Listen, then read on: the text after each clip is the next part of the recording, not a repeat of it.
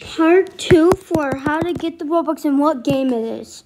So guys, it's this game right here. You see this? made pizzas last night and actually turned out pretty good. I like You please finish the parkour and win Robux. margarita sauce. I know I'm saying it wrong. Yeah, I know what you're talking about. That was better than the regular pizza. And then Yeah. you if you have like you have to finish that thing. So you have to finish the thing. You have to complete all this stuff. So guys, you have to finish all of this. I'm showing making a video. And then guys, and then you go here. One second. I'm making a video. So if you go here, you the claim gift.